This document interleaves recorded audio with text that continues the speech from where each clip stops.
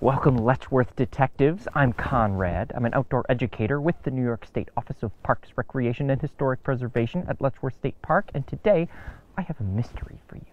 I found a really unusual tree, and I think we can use some nature clues and some park history clues to figure out what kind of tree this is and how it helps us every single day. Our first nature clue, looking closely at some of its needles we look at these needles, look how super duper long they are. Way longer than any other kind of needle, any other kind of evergreen tree that I would expect to see around this part of the United States. These needles, I usually would use my fingers to compare to the size of them, but that's almost no use because it's way, way longer than my pinky finger, way longer than any of my fingers. It's longer than even my whole hand. Super duper long, beautiful needles. Looking more closely at those needles, do you see how they're coming out of the twig in bundles, in bunches? They're not all coming out along evenly along the stem. They're coming out of the twig in bundles, in bunches. And that already lets us narrow this down to some kind of pine. Our third and final nature clue. Look closely at those bundles. Do you see how many needles are coming out of each bundle. One, two, three needles from each and every bundle. That's a pretty unusual number of needles to be coming out of a bundle of pine needles in this part of the United States. Let's put all those nature clues together. We have uh, really, really long needles coming out of this twig. They are all in bundles, and those bundles have three needles each. This must be a ponderosa pine, sometimes also called a western yellow pine. As you can guess from the name, this kind of pine tree does not normally grow in this part of the United States, doesn't even grow in this part of North America. This kind of tree is native or has developed in the fossil record in the far western United States, way out towards California. And look how tall and straight it is. Ponderosa pines are really tall and straight trees.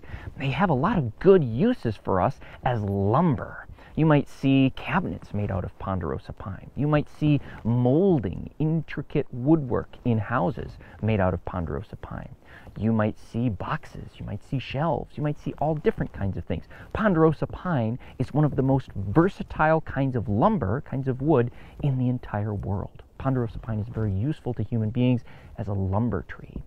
But this ponderosa pine was not planted here to be used for lumber. Sometimes when you see ponderosa pines or very unusual kinds of trees in Letchworth State Park, you might see a historical marker nearby. It's a sign that tells you when those trees were planted. And a lot of folks, when they see a conservation project or a very old construction project in Letchworth State Park, they assume that that work was done by the CCC, the Civilian Conservation Corps. And the CCC did do a lot of conservation and construction projects in Letchworth State Park. But if you look at the historical marker by this plantation of ponderosa pine, you see that it was planted too long ago for it to have been done by the CCC. The CCC wasn't even developed until 1933. This plantation is older than that. It would have been planted before the CCC, before the New York State Park System, by the American Scenic and Historic Preservation Society.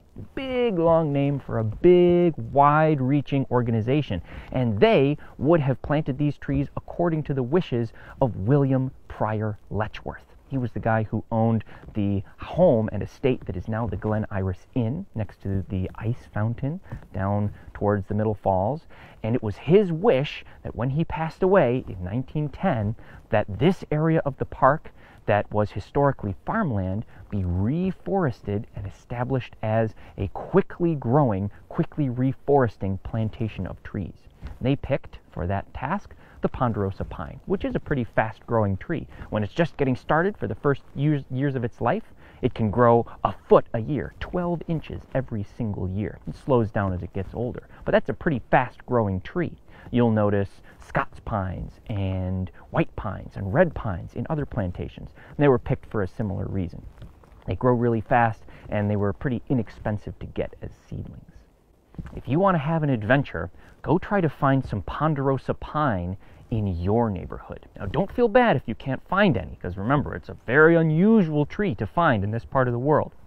But notice the needles on your local pine trees. Count the numbers of needles in each bundle. If you see three, could be a ponderosa pine. If you see five, might be a white pine. If you see two, might be a red pine or a Scots pine. You can do a little more research to figure out who is who.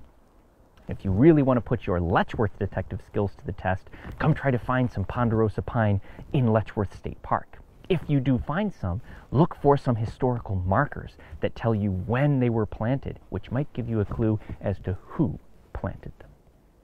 Well, thank you so much for joining me for today's Letchworth mystery. If you have any questions about ponderosa pine or other kinds of pine trees, please put a comment in the comment section below the video. Share this video with your friends to put their Letchworth detective skills to the test. And as always, like Letchworth State Park's Facebook page to stay tuned for more Letchworth mysteries.